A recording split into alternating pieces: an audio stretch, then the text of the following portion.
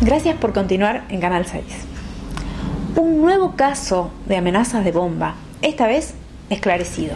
Se trata del colegio donde asisten los hijos de la gobernadora María Eugenia Vidal en Castelar. El hecho habría ocurrido el 22 de septiembre y las llamadas procedieron de un Movistar que pertenece a una mujer en el partido de Ituzaingó.